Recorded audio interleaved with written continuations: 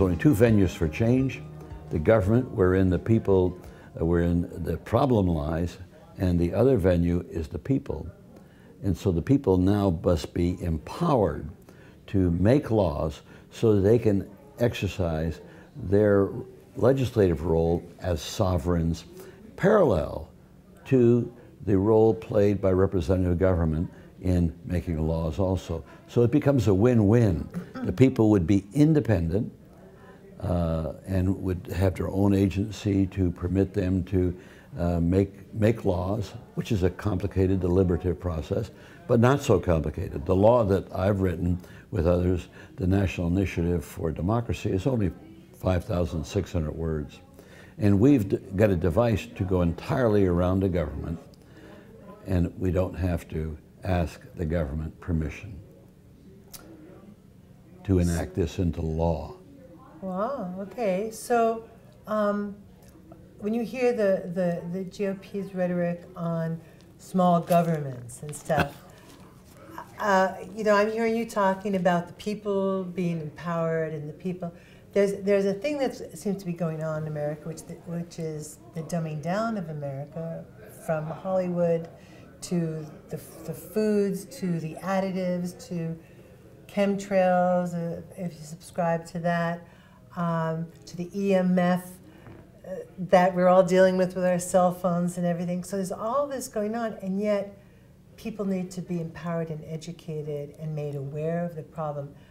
Do you see that as something that's vital? In fact, I make this distinction. You can educate the people all you want. You can inform them all you want. But if they don't have the power to act upon that information, it goes nowhere.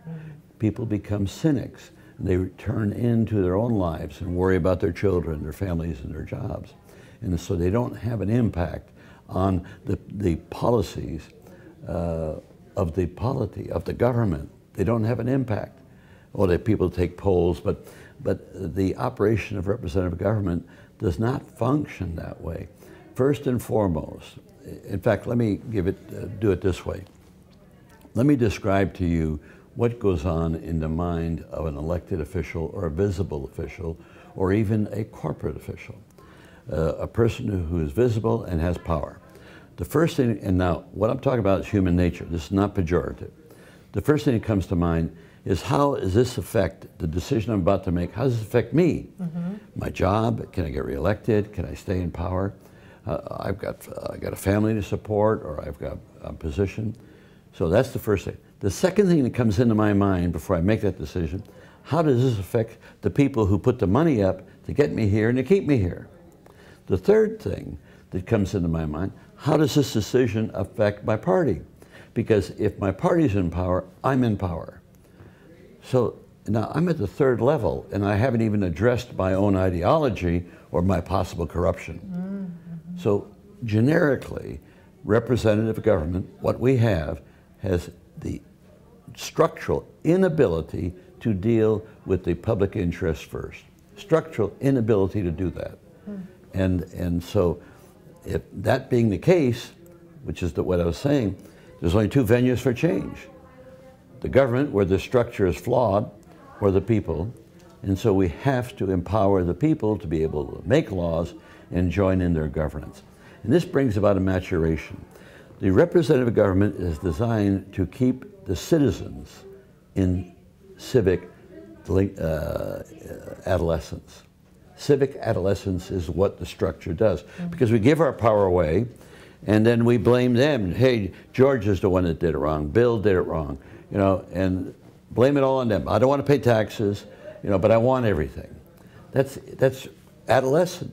That's, that's just, look at your kids. You'll see that that's adolescent behavior. So now how do we mature our children to adults? We give them responsibility more and more responsibility, and they wind up being adults, taking responsibility for their lives, taking responsibility for the society around them and the polity.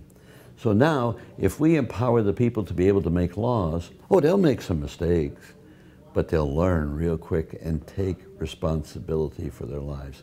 So the greatest benefit of direct democracy is the maturation of the human race. You're so inspiring. I love it.